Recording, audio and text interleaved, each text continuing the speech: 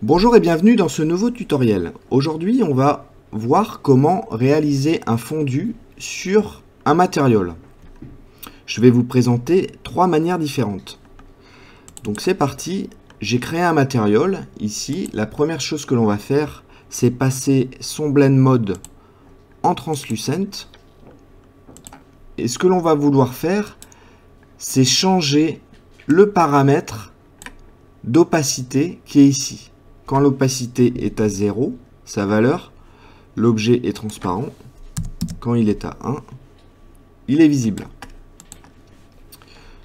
Donc pour ce faire, on va créer un blueprint pour venir justement contrôler cette valeur d'opacité. Ce paramètre d'opacité, on va créer un blueprint, je vais l'appeler BP fondu. Et ici, on va garder uniquement l'event begin play. On va venir créer une variable qui va correspondre à notre static mesh. La variable sera de type static mesh actor.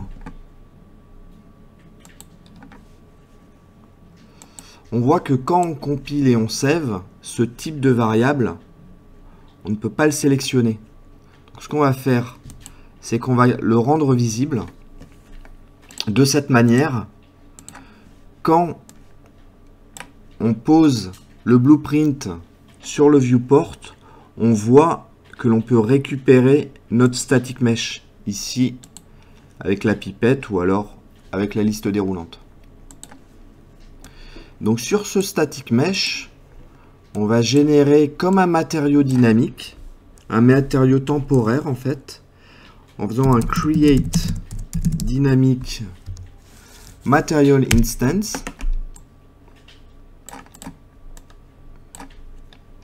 Donc notre target, c'est notre static mesh.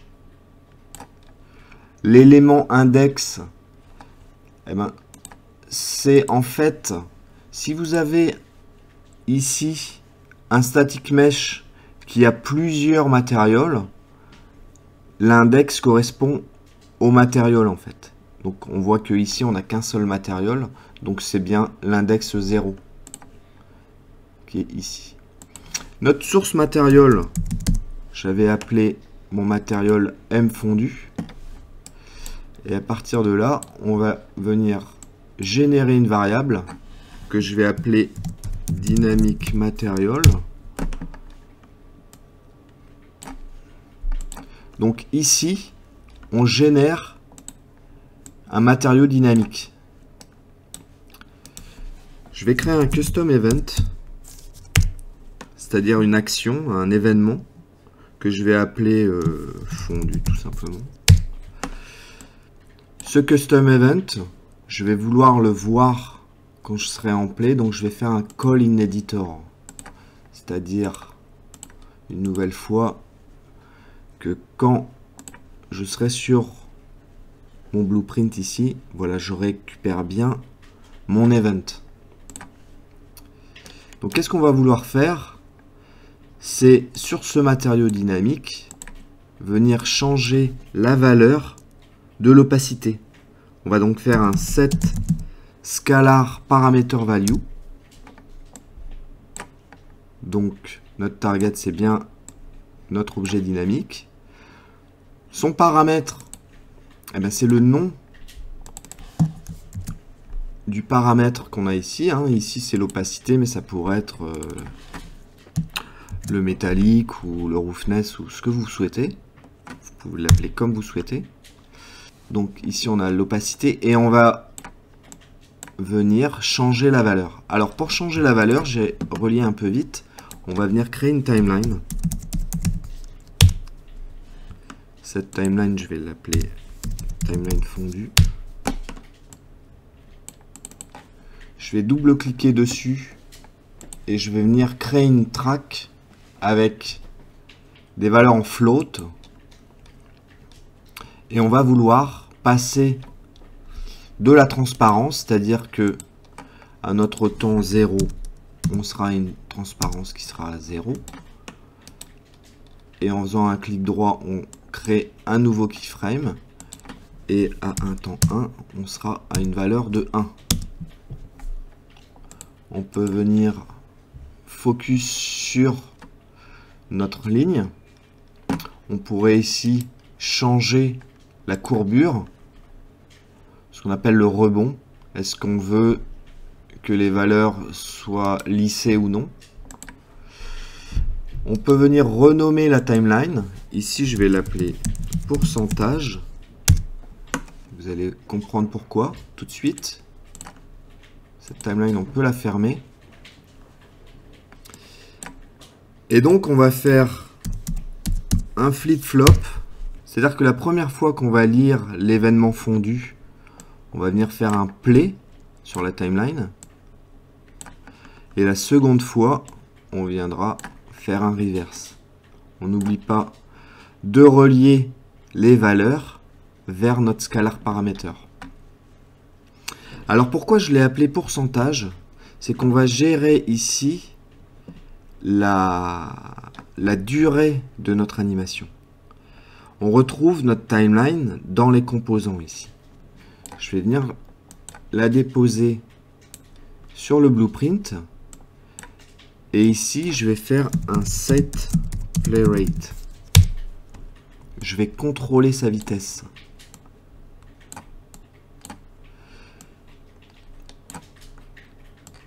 Pour ce faire, je fais un divide et je vais diviser 1 par la durée que l'on souhaite. La durée que l'on souhaite, je vais venir l'afficher ici. Je vais cliquer sur le petit œil. Je vais faire un save. Je vais rentrer une valeur par défaut, 3 secondes.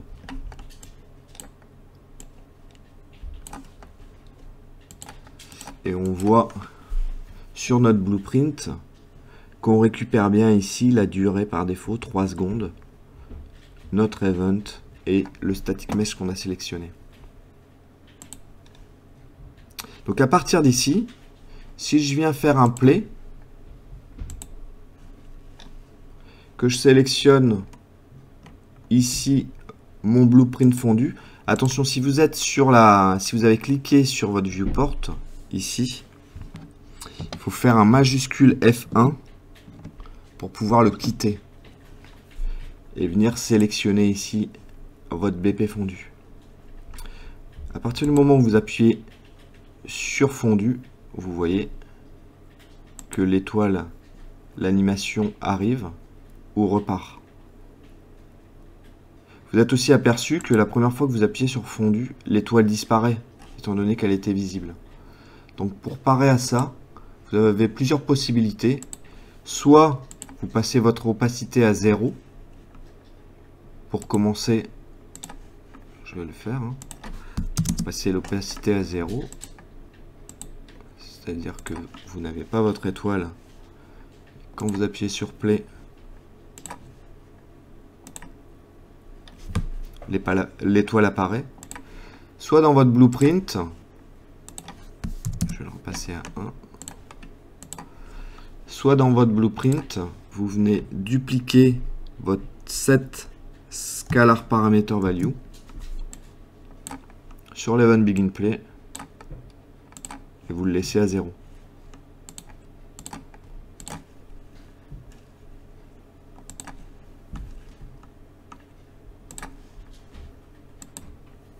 Donc quand on appuie sur l'event, même s'il n'est pas terminé, par exemple, je fonce, je rappuie, il réapparaît. Voilà, ça fonctionne. Donc ça, c'est la première méthode. Le problème de cette méthode, quelque part, qu'on peut appeler create dynamic instance.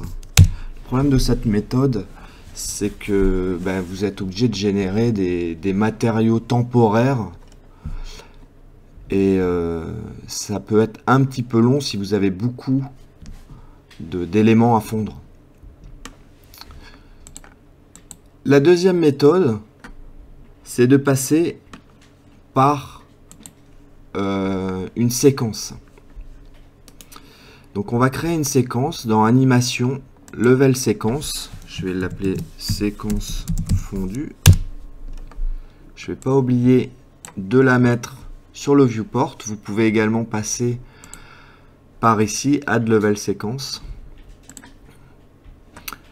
Et cette séquence, je vais l'ouvrir. Voilà, elle vient de s'ouvrir. On va pouvoir ajouter le static mesh ici. La partie transform, on peut la supprimer. On va aller chercher le static mesh component 0 ou si vous avez plusieurs matériaux, le component qui vous intéresse. L'élément 0 et ici on voit qu'on va bien récupérer l'opacité. Donc l'opacité au départ vous pouvez la passer à 0. On va dire que à, à 100 si notre timeline, si notre séquence est sur un frame, framerate de 50 fps,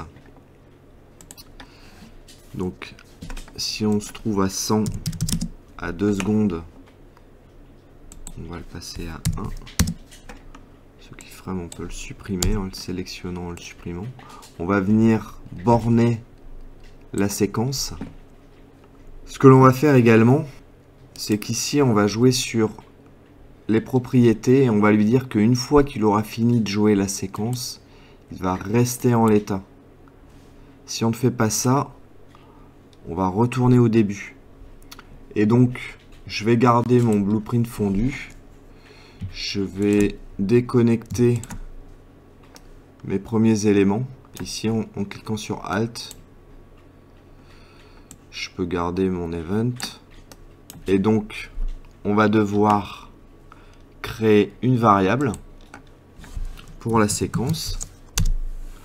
La variable, elle va être de type level séquence actor object reference. De la même manière, ici, on ne peut pas la renseigner. Donc je vais cliquer sur l'œil. Et on fera tout simplement un play.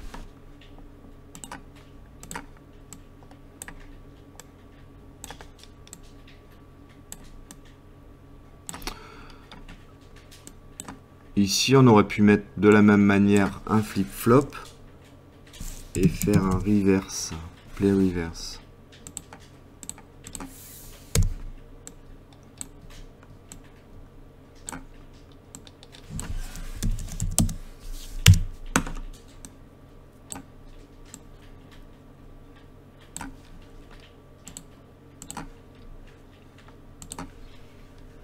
Donc n'oubliez pas sur le blueprint de renseigner la séquence. Et à partir de là, si je fais un play, que je retourne sur mon BP fondu, on voit qu'on a bien la lecture de la séquence.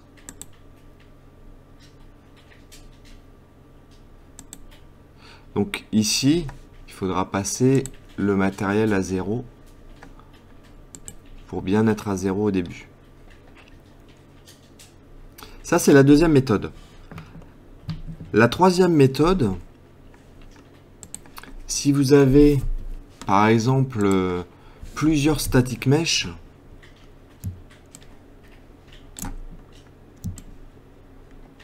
et que vous souhaitez euh, justement venir changer le paramètre d'opacité,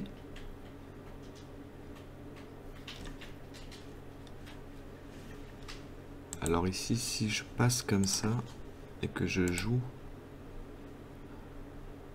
vous voyez que là, ici, il ne, prend que le paramètre d'opacité de ce static mesh.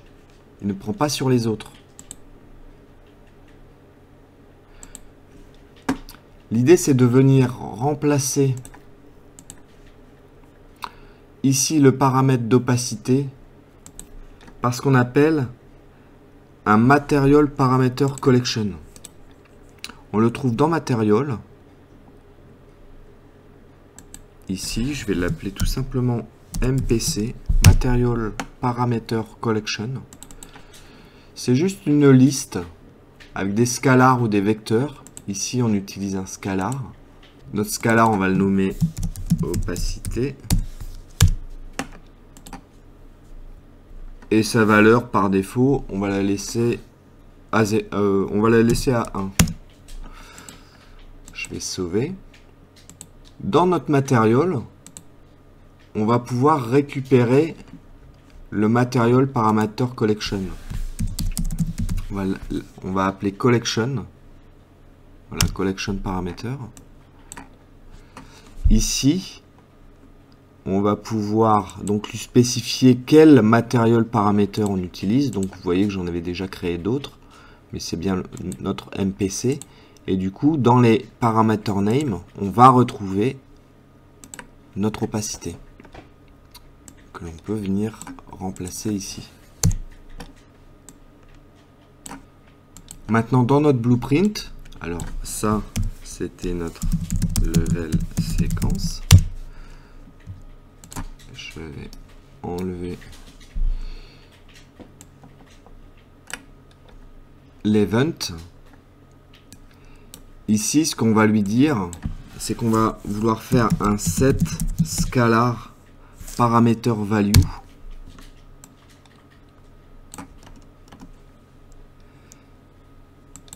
On va vouloir le faire sur notre MPC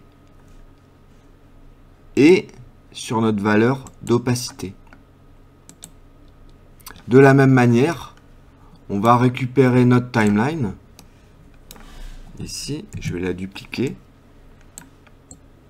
J'aurais pu reprendre également le flip-flop.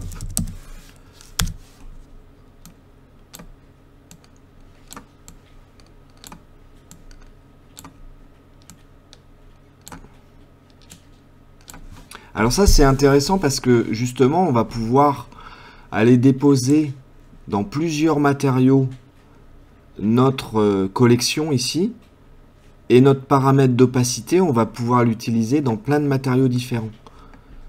Et pouvoir ainsi contrôler l'opacité sur tous nos matériaux en même temps.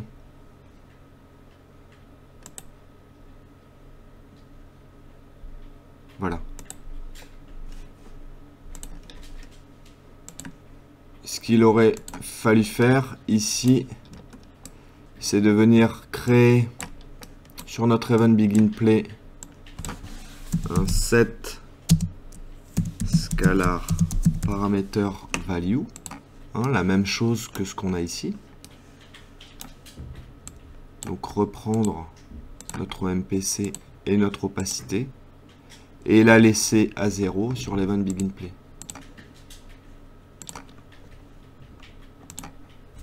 sur le play nos étoiles disparaissent. Dès qu'on appuie, elles apparaissent.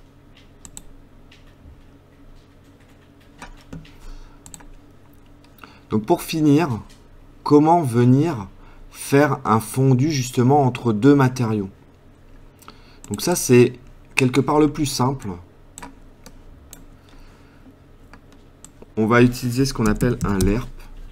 Donc le LERP, dans la liste déroulante ici, c'est un linear interpolate. Vous pouvez le placer facilement en appuyant sur L et en faisant un clic gauche sur le matériel. Donc admettons qu'on va vouloir faire une transition entre le bleu et une autre couleur. Je vais prendre du rouge.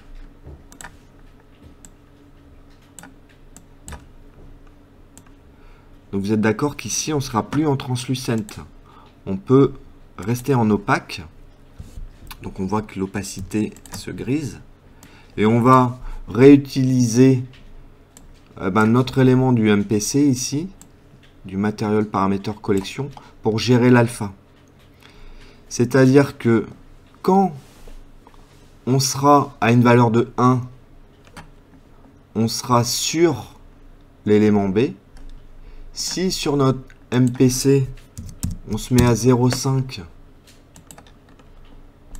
on va voir que ben, on est entre les deux.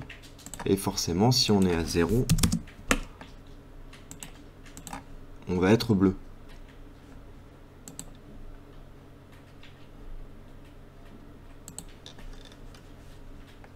À partir de là, si je lance le MPC, on voit qu'on passe bien d'une couleur à une autre. On peut venir ajouter ou euh, réduire la durée du fondu par exemple.